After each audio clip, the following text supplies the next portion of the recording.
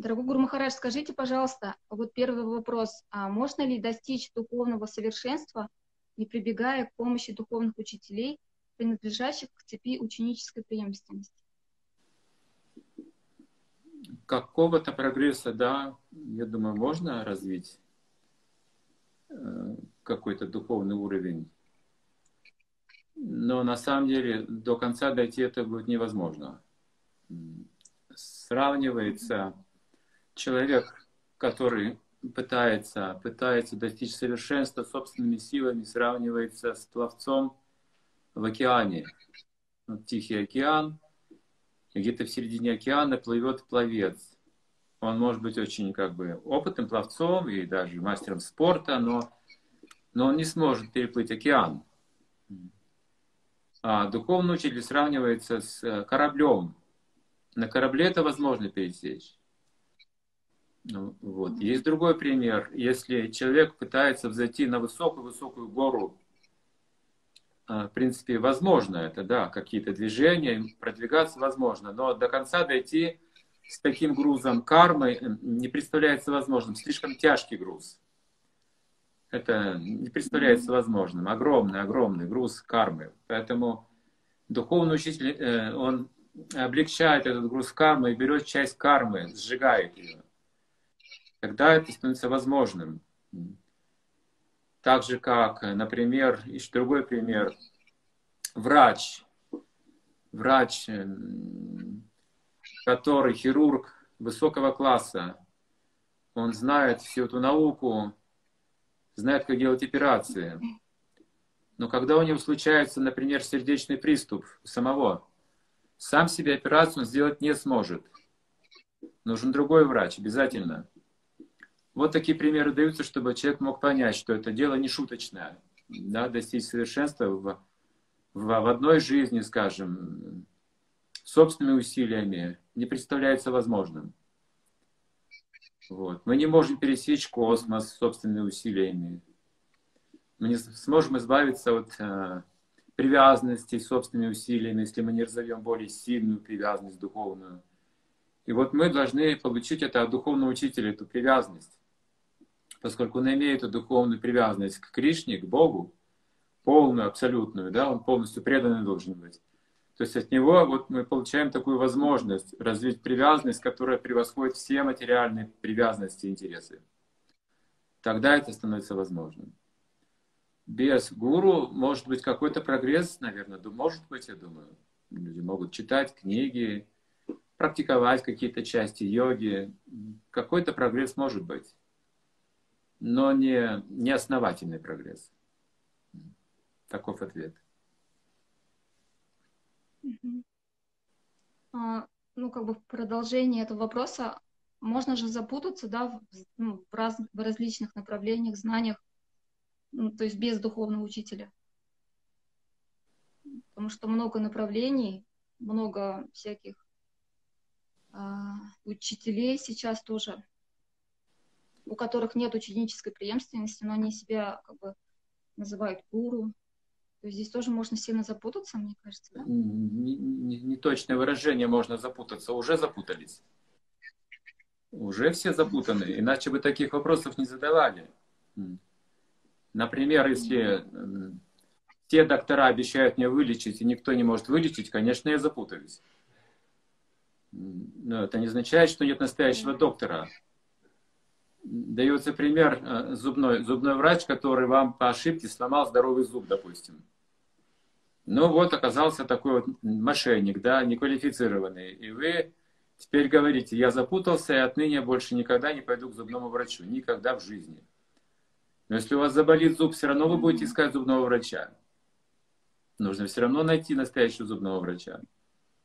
Поэтому обмануты сейчас все. Поймите, не то, что можно запутаться, уже запутаны. Мы уже не знаем, да, признаки истинного духовного учителя. Если бы мы знали такие признаки, мы бы не запутывались. Нас бы никто не обманул. Но мы уже не знаем, мы уже потеряли это знание, эту культуру.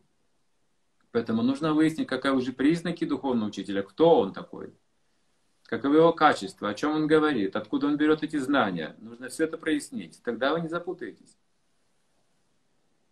Угу. Спасибо вам большое. А, есть такой вопрос. А как понять, что данная личность именно твой гуру? Как не ошибиться в таком важном выборе? Ну, в принципе, вы ответили, да, то, что нужно проверять, смотреть, откуда источник. Вы идете в супермаркет. Как вы поймете, что это ваша вещь или не ваша вещь? Это ваш размер должен быть. Это соответствует вашим вкусам, качеству, вашим требованиям. И также еще одному моменту. Вашей способности платить. Если качество подходит, но размер не подходит, вы не берете. Размер подходит, качество не подходит, тоже не берете. Размер и качество подходит, цвет не подходит, тоже сомневаетесь. Подходит и цвет, и размер, и качество. Заплатить не можете, тоже не получится ничего. Также вы должны выбирать духовного учителя. Он должен соответствовать вашим духовным желаниям, к чему вы стремитесь. Должен соответствовать. И вы должны внести плату, серьезную плату. Вы должны будете соблюдать, следовать его наставлениям. Вам придется отказаться от дурных наклонностей. Придется заплатить эту цену. Иначе вы не приобретете духовного учителя. Это не, не дешевка, это не шутка. Выбор духовного учителя в каком-то смысле процесс необратимый. Только в одну сторону, а в обратной дороге не будет. Поймите хорошо, это очень ответственный шаг. Спасибо вам большое. А, следующий вопрос. Как ученик может удовлетворить своего духовного учителя? Но если он следует наставлениям, это же несложно, то духовный учитель будет доволен, ученик старается. Один ученик сказал Шри Прабхупаде, Шри Прабхупада, вот я стараюсь следовать вашим наставлениям, но у меня это не очень получается. Я срываюсь иногда, делаю ошибки. Прабхупада его спросил, то есть ты стараешься, и у тебя не получается? Он говорит, да. Это не грех. Продолжай стараться. То есть учись. Вот мы должны, искренние попытки мы должны предпринимать сюда наши усилия, следовать духовным наставлениям своей жизни, сделать смыслом нашей жизни, духовные цели. И духовный учитель будет доволен этим, таким учеником. Спасибо большое. А, вопрос такой, как ученик может углубить свою связь с духовным учителем, если не видит гуру годами? А, гуру есть внешнее проявление и внутреннее. Внутри эта связь всегда будет. То же самое спрашивали у Шилы Прабхупады, как да, получать наставление, если вас рядом нет, если я в книгах не всегда могу найти ответ, а ситуация вот требует какого-то решения. Что делать? Прабхупада говорит, если ты искренне воспеваешь святые имена, если ты Хари Кришна Манту искренне повторяешь внимательно, ответ придет изнутри. Гуру находится также внутри.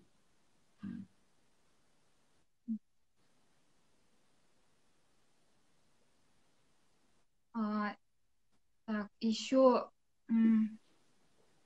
как привязаться к духовному учителю? И продолжение этого вопроса, как привязаться и сильно не обожествлять гуру? Такой вопрос. Сильно обожествлять, это означает противопоставлять, культ личности создавать вокруг него. Это материальное видение духовного учителя. Если мы говорим, что мой гуру лучший человек на свете, это нормально для ученика. Вот я как так и думаю, что для меня мой духовный учитель лучше всех на свете. Я могу это открыто говорить, и люди радуются, когда слышат это, что у меня есть такой духовный учитель. Очень радостно. Но если я при этом скажу, представьте, что мой гуру лучший на свете человек, не то, что другие, я совершу оскорбление. Вот это означает, что это культ личности. Когда противопоставляется. Один пророк с другим пророком противопоставляют, люди противопоставляют. И они потом враждуют. Религиозные войны называется. Но пророки никогда между собой не враждовали, не будут враждовать. Это люди создают культ личности. Пророки приходят не для того, чтобы враждовать с другими пророками, а для того, чтобы дать людям путь, дать наставление, которым они должны следовать. Поэтому человек, выбирая какую-то религию, должен следовать этой религии, а не враждовать с другими религиями. Это и есть культ личности. Или чрезмерная привязанность, материальная привязанность к духовному учителю.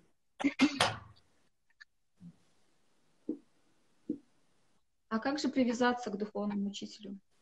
Через э, посредством э, Бога, через Бога связь с духовным учителем. Напрямую связь не бывает с гуру. Через Бога. То есть гуру, он дает Бога вам. Когда общается с учеником, ему дает Бога.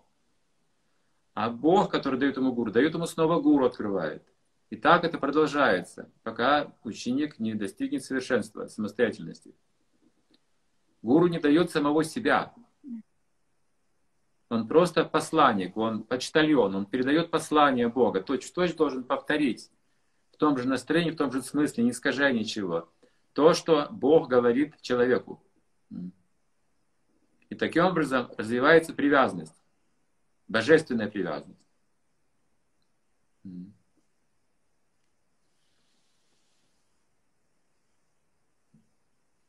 Благодарю вас, Махарадж. А, вы, вынужден ли духовный учитель страдать из-за последствий прошлых поступков учеников? Ну, конечно. А как же, без страданий? Должны быть какие-то страдания. Так же, как, например, вы рожаете детей, у вас дети есть в семье, они же будут вам какие-то беспокойства приносить. Обязательно. Будете за них переживать. Это называется бремя любви. Это не те страдания, которые есть в материальном мире. Это бремя любви называется.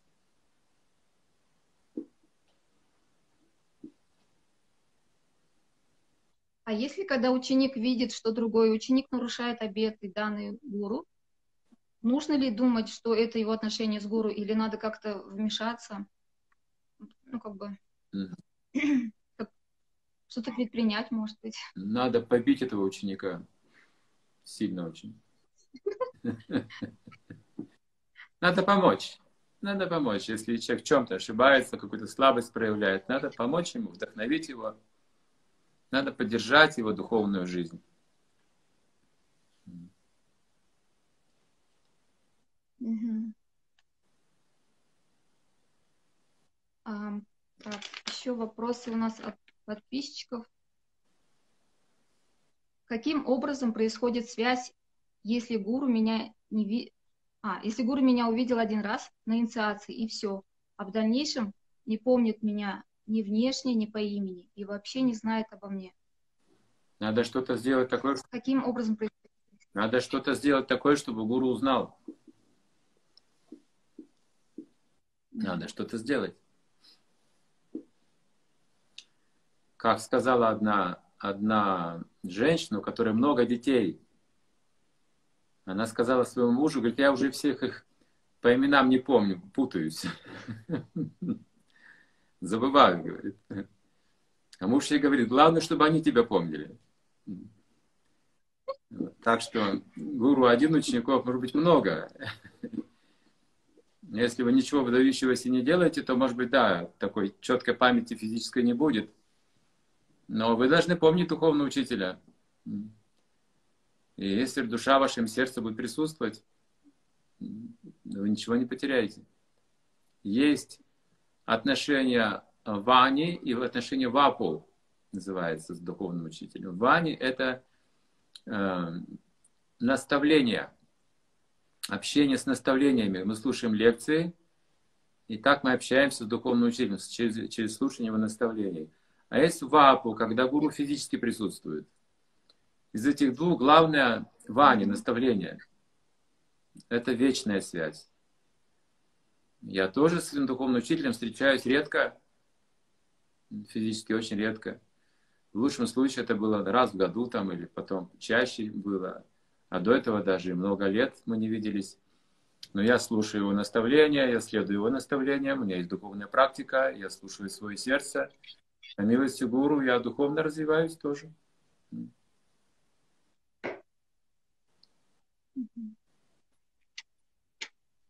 Спасибо большое. Если ученик пока не готов к личному общению с гуру, а только слушает его лекции и читает книги, то что он может сделать, чтобы приблизиться к учителю и стать готовым к инициации, выполнению его личных наставлений?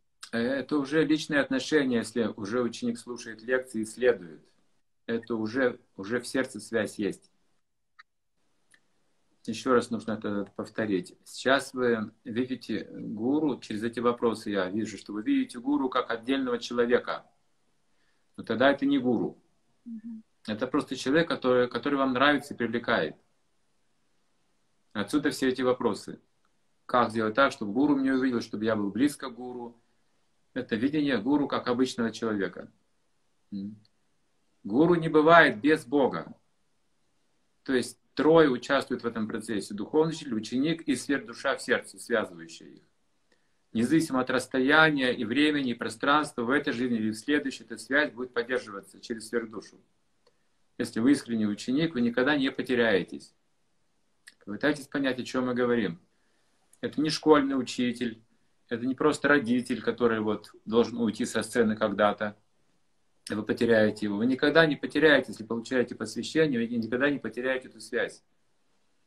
В разных телах это может быть, в следующей жизни – или когда-то еще эта связь всегда будет с вами. Это вечные отношения. Гуру это не тело, которое вы видите.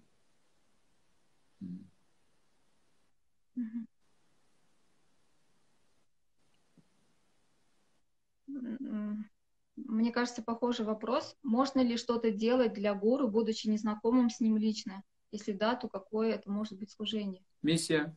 Нужно увидеть чем заключается миссия духовных учителей? Помогать, помогать этой миссии. Да, это замечательно.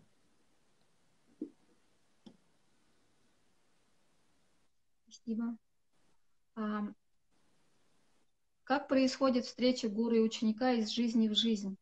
Ведь в предыдущем воплощении гуру может, быть, может родиться в другом воплощении, не быть учителем, например. У него адрес остается. Так что адрес остается электронный, он находит его все равно. Я не думаю, что я могу сейчас вам все объяснить, какие возможности у духовного учителя и у сверхдуши. В этой жизни вы уже спрашиваете духовного учителя, что это означает, что вы в прошлой жизни уже имели, развивали эти отношения. Вы просто продолжаете это делать сейчас. Так? ваш, ваш интерес, видите, не иссяк, он в этой жизни тоже есть. Вы переродились, и интерес у вас сохранился, видите. Он не умер с тем телом. Вы с собой перенесли следующую жизнь, поэтому, конечно, вы найдете духовного учителя. И он вас тоже найдет.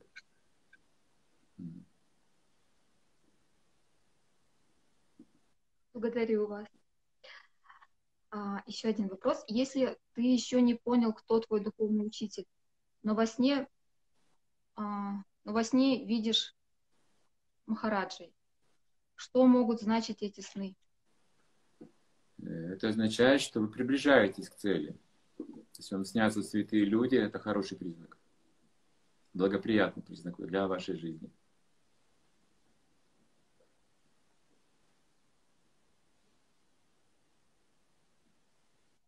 Гуру Махарадж, минуточку, я сейчас напишу, чтобы писали вопросы. Вот. Так, все. Ой.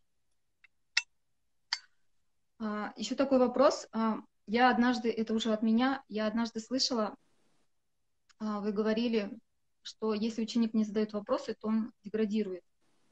А если, например, когда мы слышим а, философию, а, ведическую философию и принимаем это как бы, ну, как, ну, верим, да, сразу верим, и вопросы не возникают. Вот как здесь? То есть ты деградируешь или ты... Или что? Вопрос означает, что есть потребность в духовном знании ученика. В этом имеется в виду. И, возможно, ученик не может его сформулировать, но при этом он может внимательно слушать означает, что он вопрошающий. То есть он внимательно слушает, духовный учитель значит, что он вопрошающий. Но если у него нет интереса, значит нет вопроса.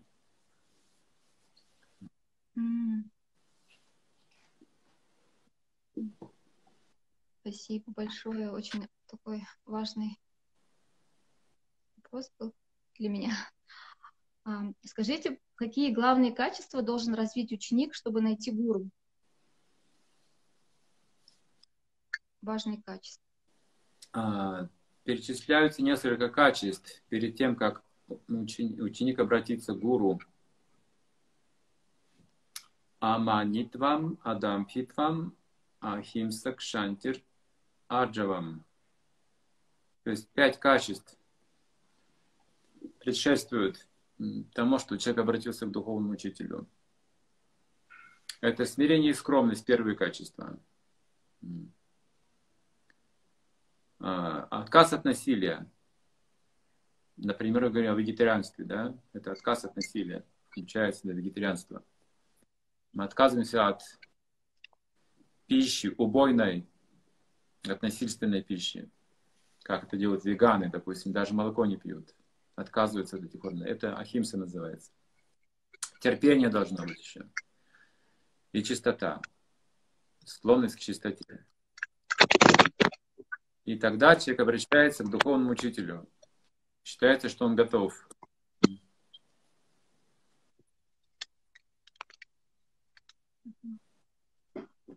Так.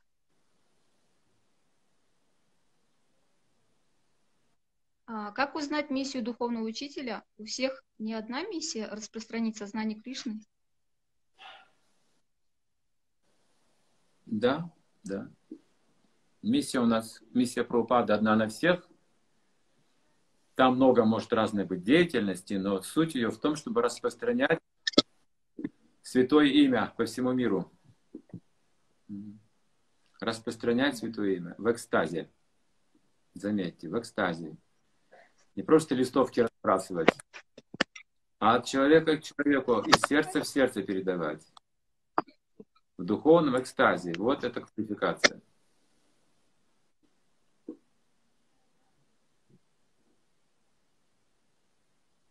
Спасибо большое. Я извиняюсь, у меня телефон вылетел со штатива. А, вопрос такой, что нужно сделать, чтобы гуру тебя принял в свои ученики?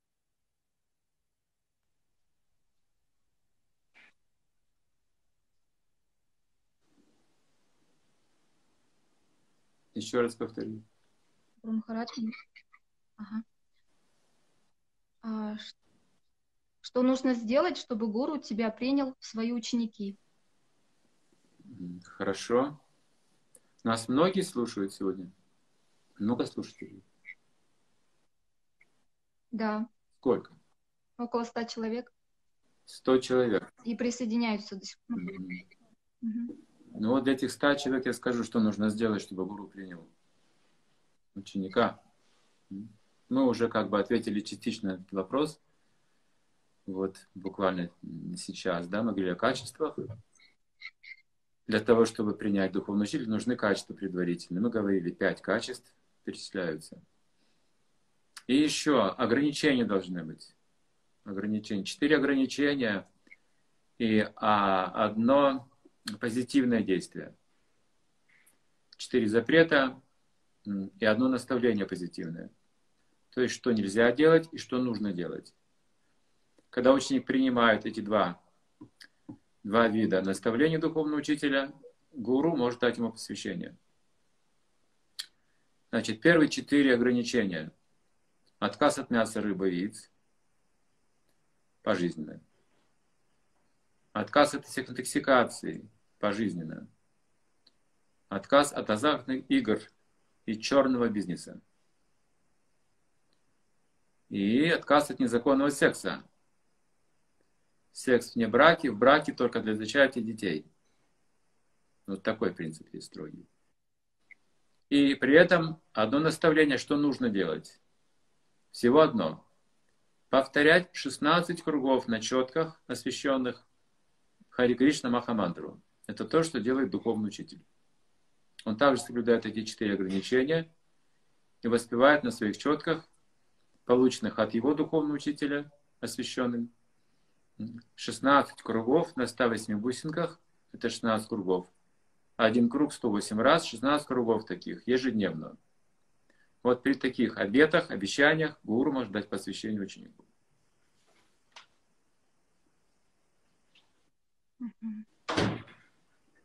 Спасибо. А, Хари Кришна, мои поклоны. Духовный экстаз приходит во время проповеди? Во время воспевания также, во время проповеди, во время киртана, во время джапы, во время чтения книг, обсуждения Бхагавадгиты. Это все экстатическая духовная деятельность. Духовная практика – это экстатическая практика. Если вы соблюдаете четыре ограничения и внимательно повторяете свои 16 кругов, вы будете в экстазе. Постоянно в каком-то состоянии транса находиться. Это и есть связь с духовным учителем.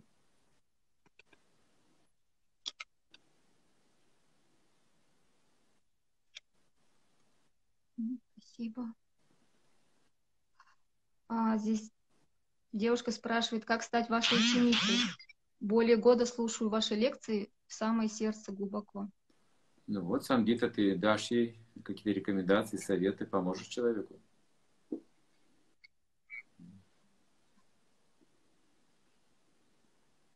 Хорошо, Гуру Махарадж.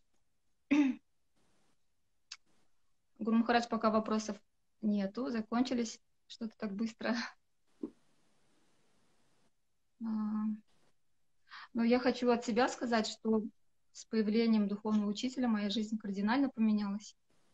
И я сейчас понимаю, что я даже не представляю, как это жить без духовного учителя. То есть это просто существование. Так как я жила раньше, просто вот а, серая жизнь, просто существование. А вот с появлением духовного учителя, конечно, поменялось многое восприятие жизни, понимание, смысл. То есть появился смысл жить. И я вам очень благодарна за это, что вы появились в моей жизни, что Бог меня направил как-то к вам. Когда Шилапрапада приехал в западный мир, чтобы выполнить наставление своего духовного учителя, проповедовать в западном мире, он поехал в Америку на грузовом судне через весь Атлантический океан в свои 70 лет. При этом без денег, без поддержки, поэтому он даже не мог там встретиться с высокопоставленными людьми, как духовный учитель, представляющий древнюю ведическую культуру, знания, будучи уже в статусе отречения, мудрости. В западном мире люди не понимали его статуса. Для западного человека он просто был нищий индус. И все, никто. И вот он приехал вот в такую страну, которая не, не, не ценит эту культуру, забыл ее, не знает. И там он никто.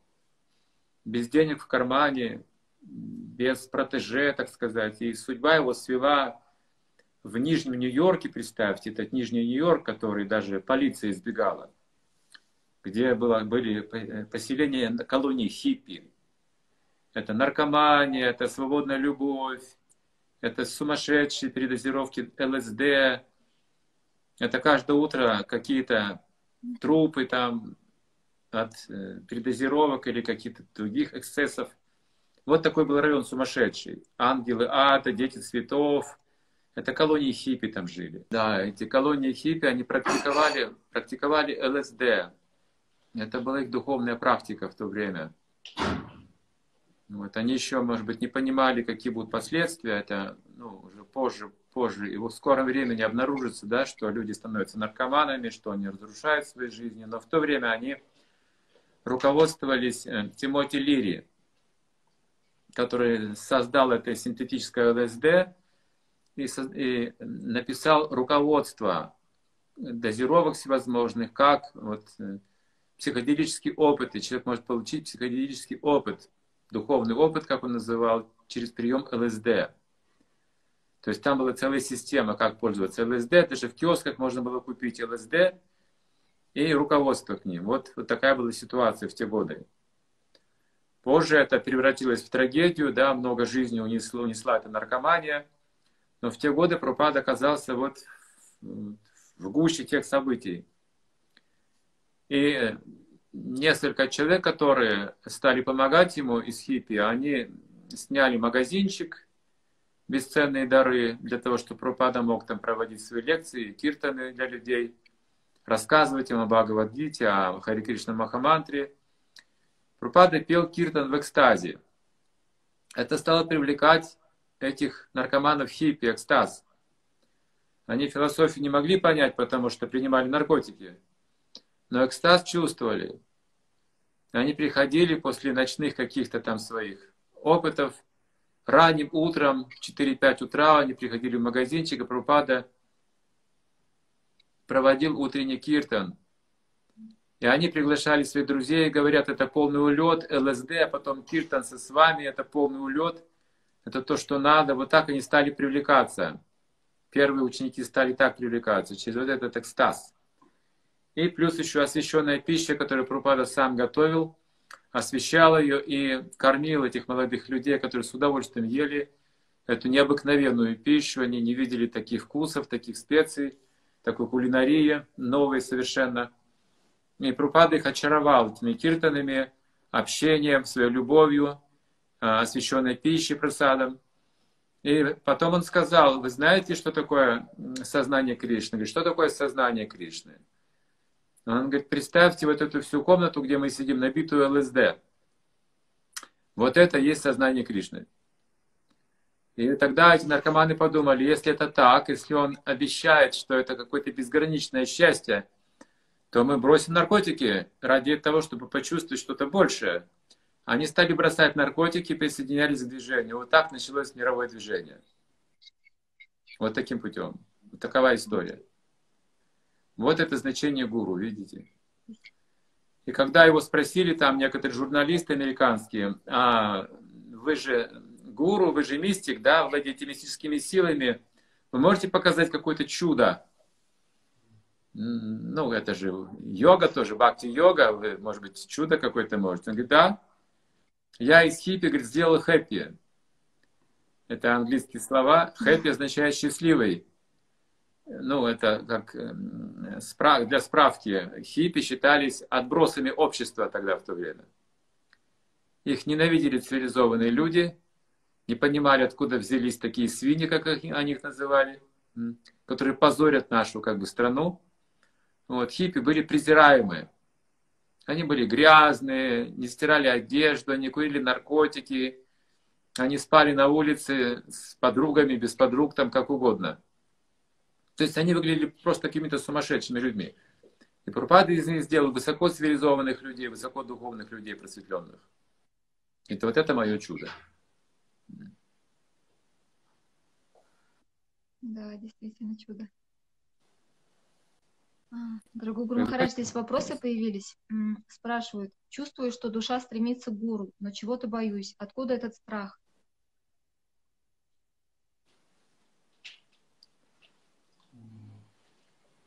Алло, еще раз повтори. Душа стремится к гуру и... Ага. Чувствую, что душа стремится к гуру, но чего-то боюсь. Откуда этот страх? А, надо проверить. Это всего лишь чувство. Теперь проверить интеллектом. Вы должны почитать книги, где описываются признаки духовного учителя и точно сделать выбор.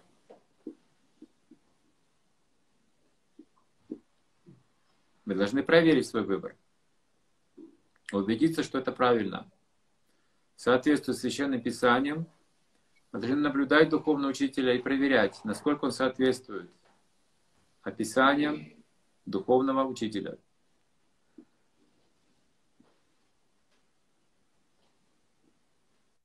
Спасибо вам, дорогой Гурмахарадж.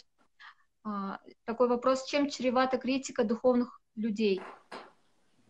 Духовных людей? А, либо, либо вы станете святым человеком, либо негодяем. В этом случае. Если ваша критика конструктивна, вы просто не понимаете, что он делает, это значит, что у вас просто есть интерес к этому интерес, значит, вы можете стать святым со временем. Если ваша критика злобная, основана на зависти и ненависти, вы станете негодяем.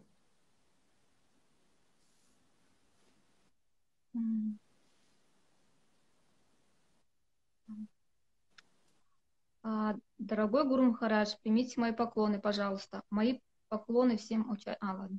Как помочь вашему инициированному ученику, который в трудных семейных ситуациях разочаровался в гуру? Разочаровался в гуру?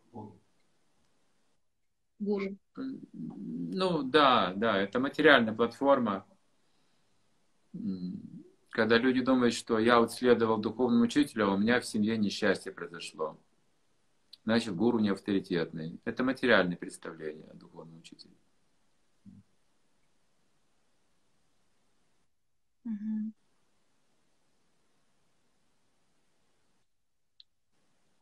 Гуру Махарадж, вот такой вопрос. Когда ученик уходит из искон и прекращает следовать советам, это вредит здоровью его гуру? Может быть. Вот можете себе представить, представить человека нищего, нищего, он страдает. И гуру это тот, кто дает ему какое-то количество денег достаточно, чтобы начать новую жизнь. Но вот как он воспользуется этим, от ученика зависит. Например, один человек богатый, проэкспериментировал, ну, состоятельный человек, видел одного бомжа, который вот там на помойках находит что-то, да, как-то так живет непонятным образом. Он ему дал денег достаточно, чтобы как-то купить себе одежду, снять квартиру, комнату. И говорит, устройся на работу. Вот тебе начальные деньги, и ты можешь стать на ноги и снова начать новую жизнь. Это было достаточно. Дал ему наставление, дал ему деньги, достаточное количество. Но бомж все пропил. Он не воспользовался этим, не заинтересовался таки, такой жизнью. Кто в этом виноват, скажите? Гуру или ученик неквалифицированный? Если гуру дает знания, нужно следовать этому. Даже если вы раз, разводитесь или болеете, или даже умираете, вы все равно должны следовать наставлениям гуру. Всегда. Потому что это духовное наставление. Да, в материальной жизни мы получаем то, что заслужили. Тут некого винить. Тут нельзя винить ни Бога, ни духовного учителя, ни соседей. Мы получаем то, что заслужили, и все. Но мы получаем от гуру милость достаточно для того, чтобы начать новую жизнь, духовную жизнь. Воспользуйтесь этим.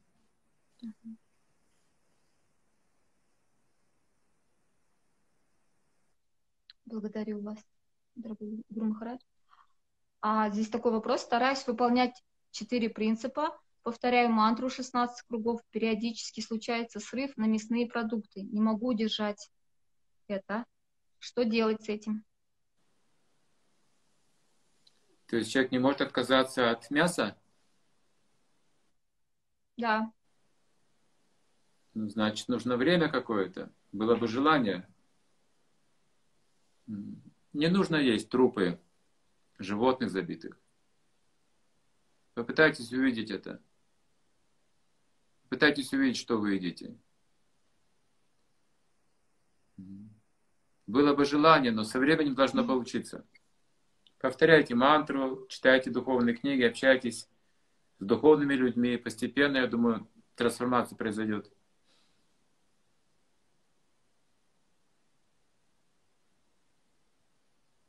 А, здесь спрашивают, что такое пранама мантра и как ее получить. Это ты расскажешь сама. Хорошо. Сейчас посмотрю вопрос еще. А, как на духовном учителе отражается уровень учеников? Их карма? Карма это подобно грузу который вы несете. например, рождается ребенок, вы его носите. Вот что-то наподобие этого. Вы должны носить на руках его. Такой пример. Можно ли быть учеником гуру, но не быть в исконе? Если гуру в исконе, значит и ученик в исконе. А где он еще может быть?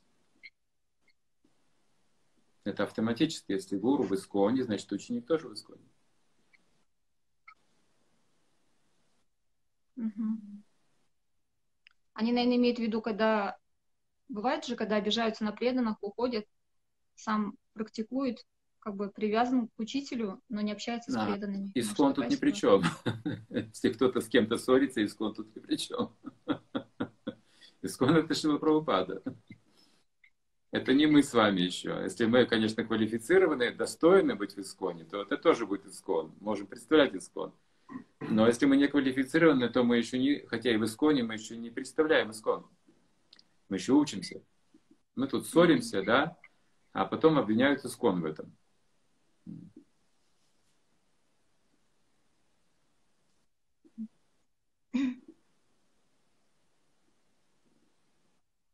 Хватает ли для духовного прогресса быть занятым только в распространении книг Шрилы Прабхупады?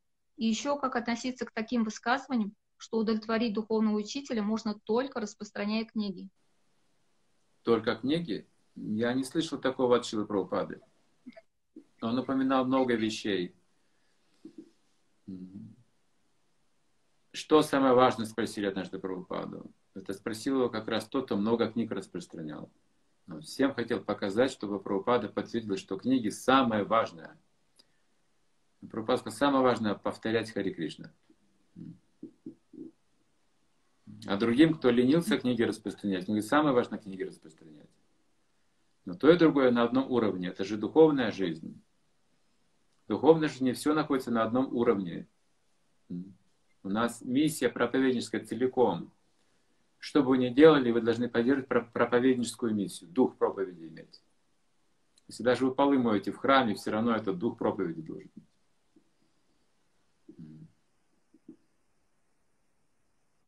А, Гуру Махарадж, я еще хотела спросить а, такой вопрос. А, допустим, бывает у каждых учеников а, разное вдохновение на служение.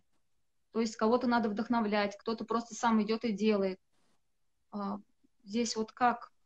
Это природа человека или, или такая связь с гуру у каждого разная? Нет, просто есть ленивые люди и все.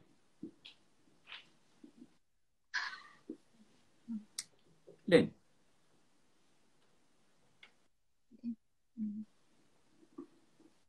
Хорошо. А, здесь вопрос от участников. Вы часто говорите, что раньше были очень гордым. Ваша гордость сменялась на смирение до принятия духовного учителя или в процессе служения учителя? Я все еще в процессе.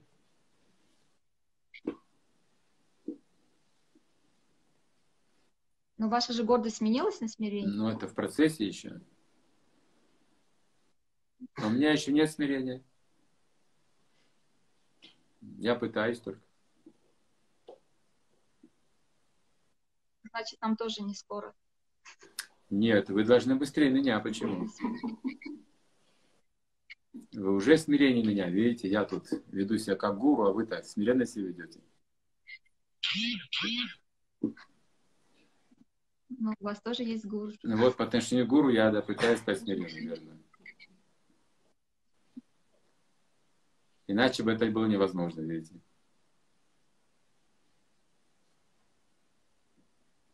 А, Гуру Махарадж, вот вопрос мой, скорее всего, прямо вот сейчас вспомнила. А, когда общаюсь с духовным учителем, меня бывает такое, что я не знаю, что сказать. Даже если знаю, что сказать, не могу это сформулировать. А потом уже через несколько дней думаю, надо было вот так сказать. То есть это вот беспокойство ума или... Ну, у меня на самом деле очень глубокое уважение и от этого я теряюсь, не могу. А на некоторых учеников смотрю, они как бы спокойно могут изложить свою речь, да, я вот иногда думаю, что это какой-то дефект или это пройдет, или оно не должно проходить, или это нормально? Вот как? Это, Надеюсь, это разная природа. Это разная природа. Ни то, ни другое не очень важно. Каждый действует согласно своей природе. Ни то, ни другое не важнее. Это одинаково нужно рассматривать. Кто-то по природе вот такой, кто-то по природе более стеснительный. Это просто природа.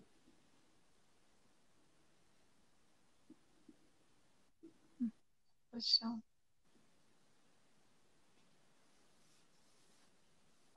А, так, здесь. Но ведь растения тоже живые, почему их можно есть, а животных нет? Я думаю, это другая тема про вегетарианство. Растения тоже не нужно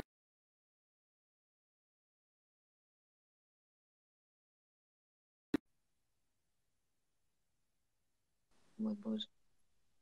Да. Тоже плохо.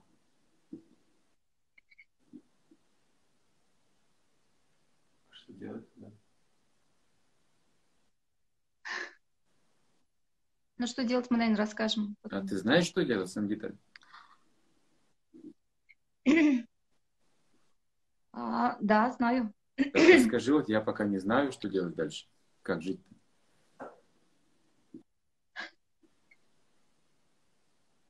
Ну, для начала надо изучить а, само вегетарианство, то есть как, как правильно питаться. Потому что я заметила, многие переходят на вегетарианство, но едят то же самое, только без мяса у них начинают выпадать волосы, с кожи что-то происходить. И ну, вот к нам на Вегалайф всегда приходят с одной и той же проблемой. То есть неправильный переход. А, ну, также, ну, допустим, мы организовали курс специальный, который разрабатывали около года.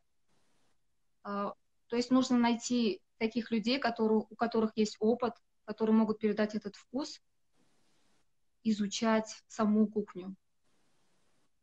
Ну, я бы так ответила. Но там же вопрос был про насилие. Есть много информации. Вопрос был про насилие. То есть не только животные живые, растения тоже живые. Почему же есть а, растения? А, растения. Не рассказала.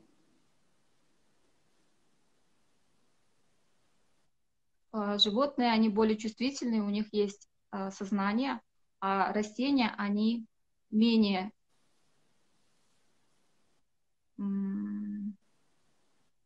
менее чувствительны, или как сказать? Ну, согласен. Но... но когда мы предлагаем... Все равно не живые, mm так ведь? Да? Как же быть? Да, что есть, есть нельзя, все равно, это все равно насилие. Что делать надо?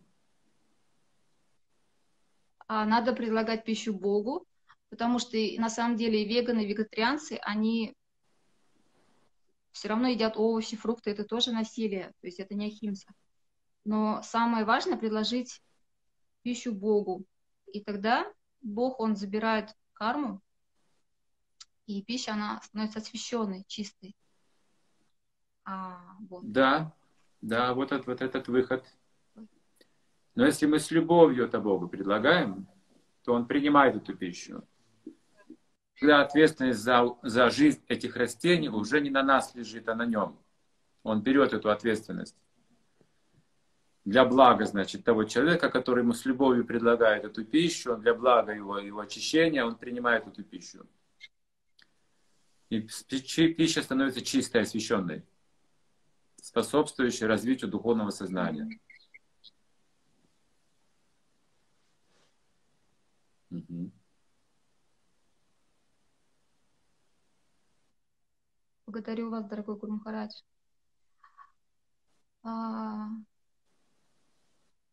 Я не знаю, задавать ли этот вопрос, он немножко не по теме.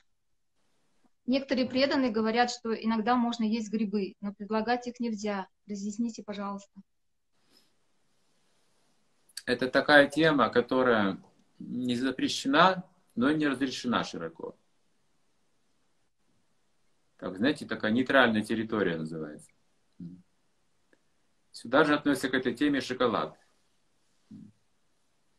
он не разрешается для широкого потребления или для, освещения.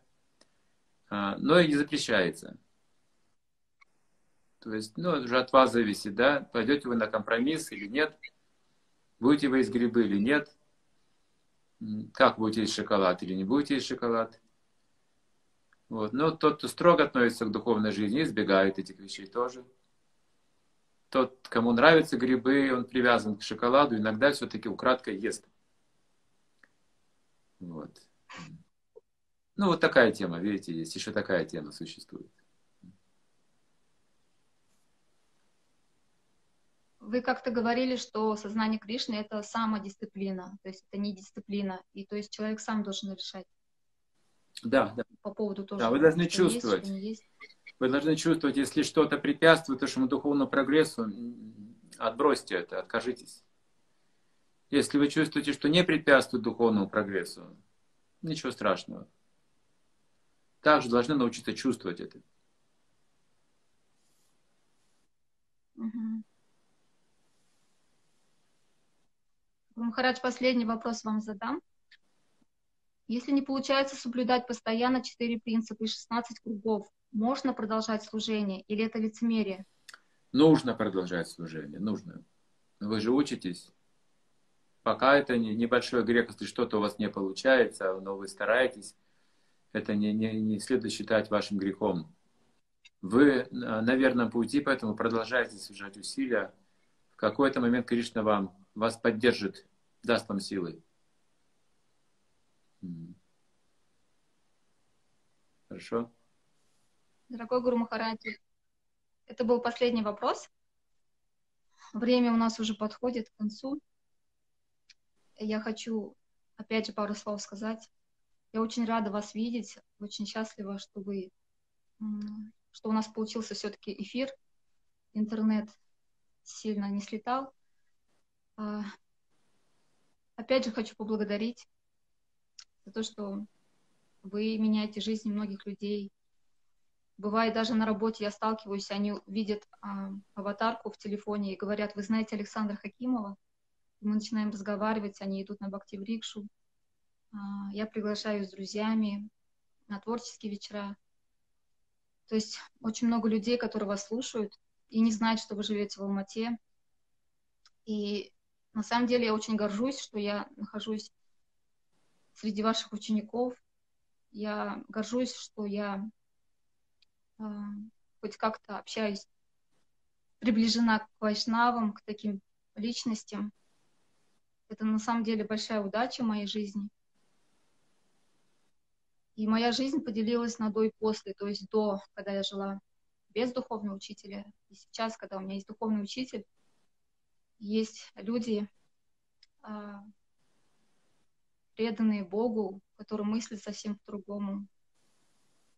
Я вам очень благодарна. Я очень хочу быть хорошей ученицей, быть полезной. Я буду стараться. И много хочется сказать, но что-то вот слова как-то не могу собрать. Я просто очень благодарна, что вы есть в моей жизни. Хорошо, спасибо большое. Я у вас учусь. Спасибо большое за эти эфиры, за твой энтузиазм, что ты помогаешь людям стать на путь чистоты, счастья и знания.